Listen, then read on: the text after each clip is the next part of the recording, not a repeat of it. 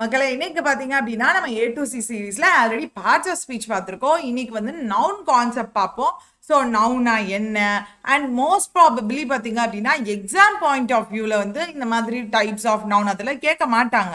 ஆனால் நம்ம அதில் தெரிஞ்சுக்கலாம். லைக் நீங்கள் யா எந்த கேட்டகரியிலாலும் மீன்ஸ் என்ன எக்ஸாம் எழுத போகிறீங்கனாலும் பேசிக்ஸ் ஆஃப் நவுன் வந்து இன்னைக்கு நம்ம பார்க்க போகிறோம் ப்ளஸ் பார்த்தீங்க அப்படின்னா ரொம்ப காமனாக பார்த்தீங்கன்னா ஒரு சில மிஸ்டேக்ஸ் நவுனில் இந்த மாதிரிலாம் பண்ணக்கூடாது. என்ன மாதிரி யூஸ் பண்ணணும்? அது எல்லாமே நீங்கள் டிஸ்கஸ் பண்ணுவோம் ஸோ செஷன்களை போகலாம் போகிறதுக்கு முன்னாடி நம்ம லைவ் பேங்கிங் வீடியோ கோர்ஸ் பார்த்தீங்க அப்படின்னா மே செகண்ட்லேருந்து ஸ்டார்ட் ஆக போகுது. ஸோ அதுக்கு அதில் வந்து ரெக்கார்டிங் கிளா ரெக்கார்டிங் கிளிப்ஸும் வந்து அவைலபிளாக இருக்கும். ஆஃப்டர் தி லைவ் வந்து அப்படியே ரெக்கார்டட் கிளாஸ் இருக்கும். ஸோ நீங்கள் யூஸ் பண்ணிக்கலாம். அண்ட் அஃபயர்ஸ் கிளவுடில் வந்து உங்களுக்கு ஏதாவது கரண்ட் அஃபேர்ஸ் பண்டில் பர்ச்சேஸ் பண்ணணும்னு நினச்சிங்க அப்படின்னா கேஆர் டென் அப்படின்ற கூப்பன் கோட் யூஸ் பண்ணுங்க மக்களே. நம்ம ஆப்போட லிங்க் வந்து டிஸ்கிரிப்ஷனில் கொடுத்துட்றேன் ஸோ அதில் தான் நம்ம லைவ் கிளாஸ் போக போகிறோம் ஸோ ஃபஸ்ட்டு பாருங்கள் நவுன் நவுன் பொறுத்த வரைக்கும் என்ன அப்படின்றத ஒரு காமனாக லைக் ரொம்ப பேசிக்காக பேட்ச் ஸ்பீச்சில் பார்த்துட்டோம். ஸோ இன்னைக்கு டைப்ஸ் ஆஃப் நவுன் என்னென்ன அப்படின்றதெல்லாம் பார்ப்போம். அதை எப்படி எப்படி யூஸ் பண்ணலாம் அப்படின்றத பார்ப்போம். ஸோ ஃபஸ்ட்டு பார்த்தீங்க அப்படின்னா ப்ராப்பர் நவுன் ஸோ ஏதோ ஒரு பிளேஸாக இருக்கலாம் இல்லை பர்சனாக இருக்கலாம் ஆர் அதர்வைஸ் லைக் ஸ்கூலாக இருக்கலாம் யூனிவர்சிட்டியாக இருக்கலாம் என்ன ஆனாலும் இருக்கலாம் சீயாக இருக்கலாம் ஓஷனாக இருக்கலாம் கண்ட்ரியாக இருக்கலாம். ஏதோ ஒரு விஷயத்துக்கு நான் பெயர் வச்சு கூப்பிடுறேன் இல்லையா? ஸோ அதுக்கான பெயரை சொல்லி கூப்பிடுறேன் இல்லையா? ஸோ அப்போ அதை ப்ராப்பர் நான் சொல்லுவேன். ஃபார் எக்ஸாம்பிள் கேர்ள்னு சொல்லிட்டு போயிடலாம் என்ன? ஆனால் வந்து கேர்ள்னு சொன்னேன் அப்படின்னா நிறையா கேர்ள்ஸ் இருக்காங்க. அதில் இந்த கேர்ள் அந்த கேர்ள்னு சொல்லி கூப்பிடுறேன் அப்படின்னா அவங்கள ஒருத்தவங்கள நான் ஸ்பெசிஃபிக்காக கூப்பிடணும் அப்படின்னா அவங்களுக்கு நான் என்ன வச்சு கூப்பிடுவேன்? அவங்களுடைய பெயரை வச்சு கூப்பிடுவேன். Each and every individual have they own name so each and every individual has they own name அப்போது அந்த நேமை சொல்லி கூப்பிடுறேன் இல்லையா? ஸோ அந்த பெயர் ஒவ்வொருத்தவங்களுக்கும் அவங்களுக்கு இருக்கிற அந்த இண்டிவிஜுவாலிட்டியை டினோட் பண்ணக்கூடிய அந்த பெயரை சொல்கிறப்போ அதுதான் ப்ராப்பர் நான் இப்போ கேர்ள் சொல்லிட்டு போயிடலாம். நான் ரீனான்னு சொல்கிறது ப்ராப்பர் நான் அதே மாதிரி நிறைய மவுண்டெயின்ஸ் இருக்குது நார்மலாக மவுண்டெயின் அப்படின்னா ஏதோ ஒரு மவுண்டெயினை பற்றி சொல்கிறேன்னு அர்த்தம். ஆனால் ஸ்பெசிஃபிக்காக மவுண்ட் இவரெஸ்ட் அப்படின்னு சொல்லிட்டு அந்த மவுண்டைன் அப்போ மவுண்ட் எவரெஸ்ட் அப்படின்றது I am very specific about the mountain இப்போ அதுதான் ப்ராப்பர் நவுன் அதே மாதிரி நிறைய ஓஷன் இருக்குது அதில் இந்தியன் ஓஷன் அந்த ஓஷனுக்கான பெயரை வச்சு கூப்பிடுறேன். ஸோ அது எஸ் ப்ராப்பர் நான் அதே மாதிரி யூனிவர்சிட்டி அப்படின்னு எடுத்துட்டிங்கன்னா there are many universities so அதில் பார்த்தீங்க அப்படின்னா நான் ஸ்பெசிஃபிக்காக சொல்கிறது அண்ணா யூனிவர்சிட்டி அப்போது எந்தோ பிளேஸ்க்கோ இல்லை பிளே பர்சன்க்கோ இல்லை அனிமல்க்கோ ஏதோ ஒரு விஷயத்துக்கு நான் அதுக்கான பெயரை சொல்லி கூப்பிட்றேன் அப்படின்னா அதுதான் ப்ராப்பர் நான் okay understood clear with this? Okay fine. Coming to the next one. So common noun பார்ப்போம் அடுத்து கலெக்டர் போவோம். ஆக்சுவலி காமன் நவுன் அதுக்கு ப்ராப்பர் நவுனுக்கு எக்ஸாக்ட்லி ஆப்போசிட் ஸோ நான் அதுக்கான பெயரை சொல்லாமல் பொத்தாம் பொதுவா. ஏதோ ஒரு பையன் like woman man girl boy ஏதோ ஒரு லாயர் ஸோ லாயர் அப்படின்னா அந்த லாயருக்கு ஏதோ ஒரு பேர் இருக்கும் இல்லையா? ஸோ ப்ரோ இன்ஜினியர்னா நிறைய இன்ஜினியர்ஸ் இருக்காங்க.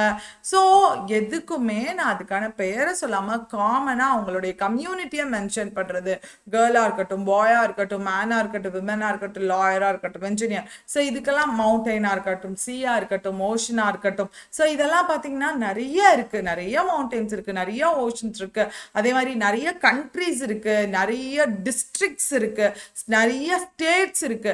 அப்போ ஸ்டேட்டுன்னு சொல்லாம அதுக்குன்னு அந்த ஸ்டேட்டுக்கான பெயர் தமிழ்நாடு அப்படின்னு சொன்னேன்னா அதுதான் ப்ராப்பர் நவுன் நார்மலா ஏதோ ஒரு ஸ்டேட் அப்படின்னா அது common noun for example Madurai அப்படின்றது எங்களோட ஊர். அப்போ மதுரை அப்படின்னா அது ப்ராப்பர் நவுன் ஏதோ ஒரு ஊர்.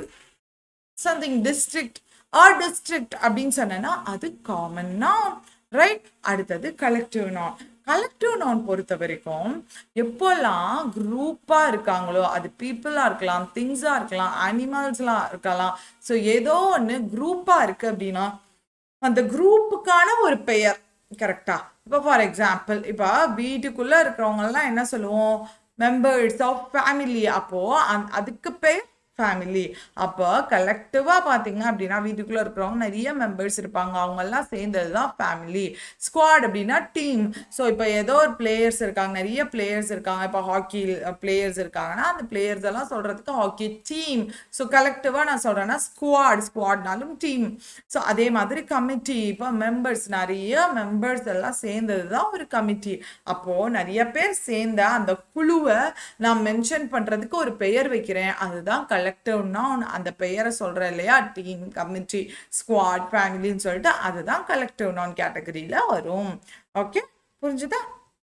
Okay coming to the next noun material noun actually இந்த மெட்டீரியல் நவுன்லாம் என்னென்னா இந்த gold aluminium iron plastic for example சொல்லணும்னா இந்த மெட்டீரியல்ஸை வச்சு வேற ஒரு விஷயத்த என்னால் உருவாக்க முடியும். அப்படி இருக்கிறது தான் மெட்டீரியல்னா ஃபார் எக்ஸாம்பிள் சொன்னால் உங்களுக்கு புரியும். கோல்டு வச்சு என்ன உருவாக்கலாம்? இஸ் ஜுவல்லரி ஸோ ஜு கோல்டு வச்சு என்னால் ஜுவல்லரி உருவாக்க முடியும். அதே மாதிரி அலுமினியம் அலுமினியம் வச்சு என்னால் வெசல்ஸ் உருவாக்க முடியும். நிறையா விஷயம் உருவாக்க முடியும்.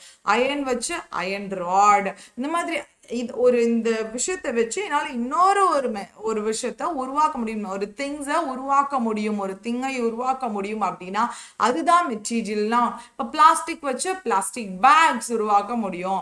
ஸோ இதெல்லாம் பார்த்தீங்க அப்படின்னா yes it exist and with this I can make some other thing so இந்த விஷயத்தை வச்சு என்னால் இன்னொரு ஒரு விஷயத்த உருவாக்க முடியும் அப்படின்னு எதெல்லாம் இருக்கோ என்னென்ன திங்ஸ் எல்லாம் இருக்கோ அதெல்லாம் நான் என்ன சொல்லுவேன்னா மெட்டீரியல்னா அப்படின்னு சொல்லி சொல்லுவேன்.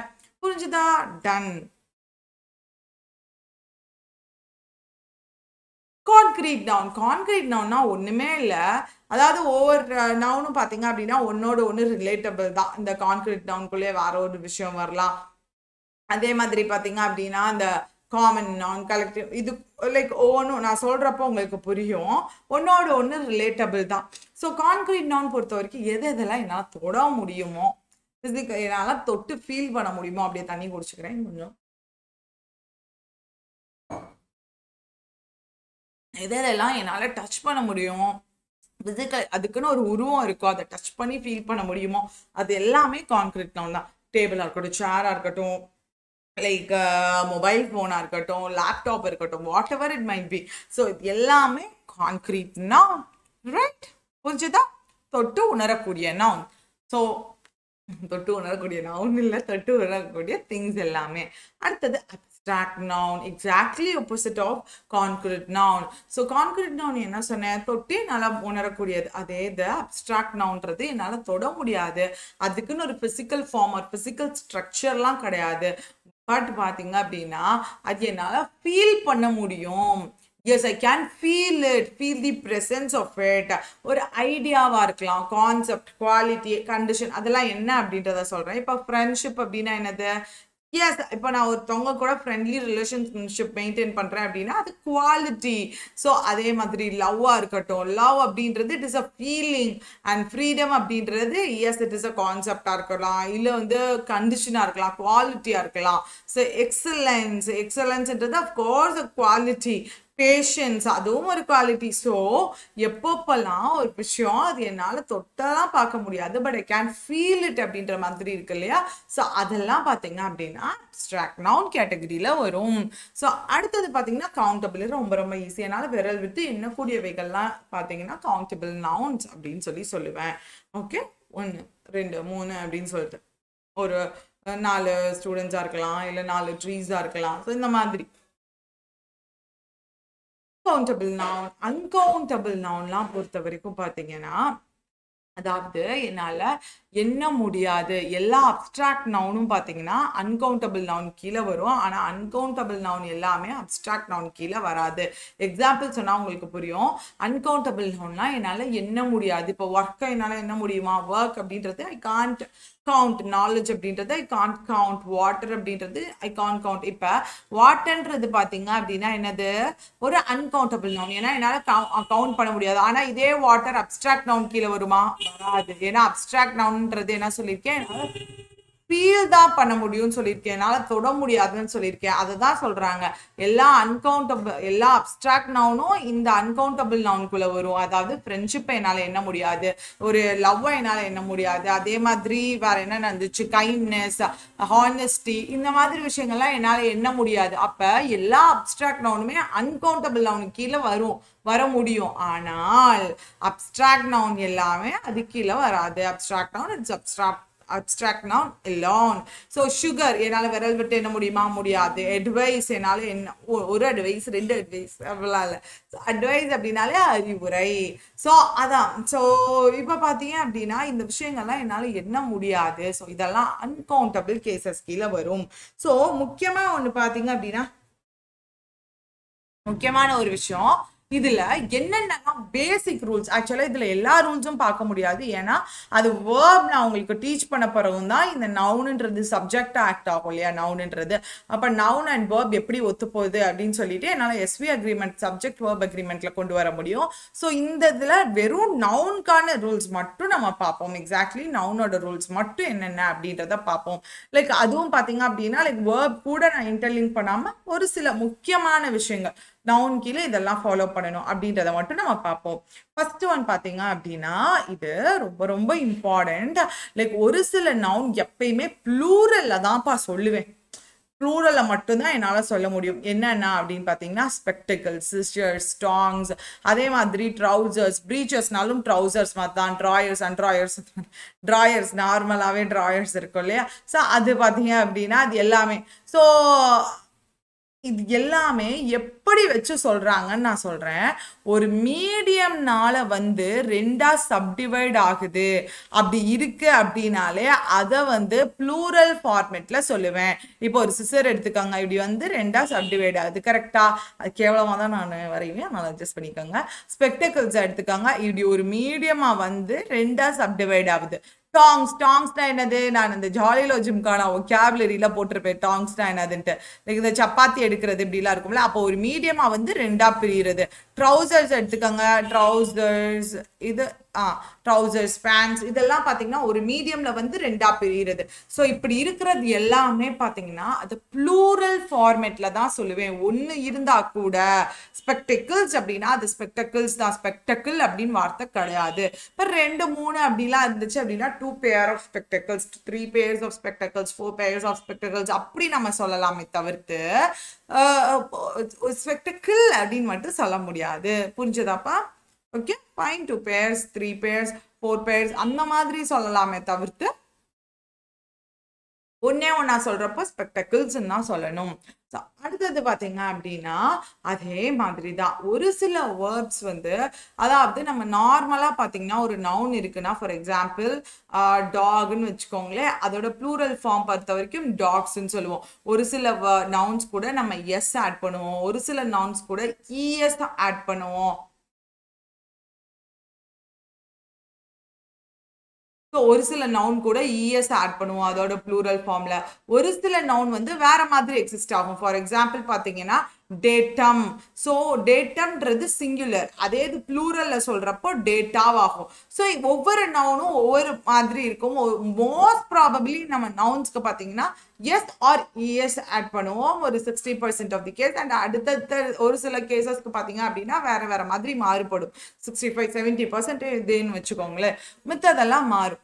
ஸோ அடுத்தது பார்த்தீங்க அப்படின்னா இதில் என்ன சொல்கிறாங்கன்னா இன்னிங்ஸாக இருக்கட்டும் மேத்தமெட்டிக்ஸ் நியூஸ் சிவிக்ஸ் பாலிட்டிக்ஸ் இதெல்லாம் சப்ஜெக்ட் ஏதோ ஒரு சப்ஜெக்டை பற்றி நான் பேசுகிறேன் அப்போ ஒரு சப்ஜெக்டை பற்றி பேசுகிறப்போ அந்த சப்ஜெக்ட் பேரே எஸ்ல தான் முடியுதே தவிர்த்து அது ப்ளூரலில் சொல்லக்கூடாது. ஃபார் எக்ஸாம்பிள் நியூஸஸ் அப்படின்னு சொல்லக்கூடாது. அது தப்பு. சிவிக்ஸஸ் அப்படி சொல்லக்கூடாது. பாலிட்டிக்ஸஸ் அதெல்லாம் கிடையாது. ஒரு சப்ஜெக்ட் ஒரு பற்றி நம்ம பேசுகிறப்போ இது எண்டாகிறதே ப்ளூரலில் தான். So mathematics S is easy தான். மேத்தமெட்டிக்ஸ் ஆர் ஈஸி கிடையாது. எஸ்ல இண்டாகிறதுனால இது பேர் ஆறுலாம் நான் ஒர்க் சொல்லக்கூடாது. ஸோ அடுத்தது பார்ப்போம். அடுத்தது பார்த்தீங்க அப்படின்னா ஒரு சில நவுன் எப்பயுமே சிங்குலர் இது நல்லா பார்த்துக்கோங்க. இதுதான் மெயினாக இதை தவிர்த்து ரொம்ப கம்மியாக தான் வேர்ட்ஸ் இருக்கு லைக் மோஸ்ட் காமனாக கேட்க வேர்ட்ஸ் எல்லாமே எடுத்துகிட்டு வந்தாச்சு. Scenery machinery poetry stationeries lottery jewellery so இந்த வேர்ட்ஸ் எல்லாமே நீங்கள் பார்த்துக்கோங்க ஸோ இந்த மாதிரி வேர்ட்ஸ்லலாம் வந்து எப்பயுமே ப்ளூரல் கிடையவே கிடையாது. ஸோ அதுக்கு சிங்குலர் ஃபார்ம் மட்டும்தான் யூஸ் பண்ணுவேன். ஸோ இந்த முக்கா மோஸ்ட்லி கேட்கக்கூடிய வார்த்தைலாம் இந்த ஷீன் சீனரியாக இருக்கட்டும் மெஷினரியாக இருக்கட்டும் லக்கேஜ் பேக்கேஜ் இதெல்லாம் பார்த்தீங்க அப்படின்னா ரொம்ப லைக் காமனாக கேட்கக்கூடிய கேட்கக்கூடிய நான்ஸா ஸோ அடுத்தது பார்த்தீங்க அப்படின்னா ஸ்லெட்ரினா ஒன்றும் இல்லை ரொம்ப அட்ராக்டிவாக இருக்கக்கூடியது அப்படின்ற மாதிரி மீனிங் ஸோ இந்த வேர்ட்ஸ் எல்லாம் வந்து ஜஸ்ட் பார்த்துக்கோங்க இன்ஃபர்மேஷன்ஸ் அப்படிலாம் சொல்ல மாட்டோம். பீஸ் ஆஃப் இன்ஃபர்மேஷன் அப்படின்னு வேணால் சொல்லுவோம். ஸோ இதெல்லாம் டிராஃபிக்ஸ் டிராஃபிக் தான். ஓகேவா இதெல்லாம் சிங்குலர் ஃபார்மேட்டில் மட்டும்தான் சொல்லணும். ப்ளூரல் ஃபார்மேட்டில் சொல்லக்கூடாது. ஸோ அடுத்தது பார்த்தீங்க அப்படின்னா collective noun so collective noun பார்த்தீங்கன்னா எப்பயுமே ஒரு குரூப்பாக சொல்கிறப்போ இப்போ பீப்புள்னு எடுத்துக்கோங்களேன். பீப்புள்னு எடுத்துக்கோங்களேன்.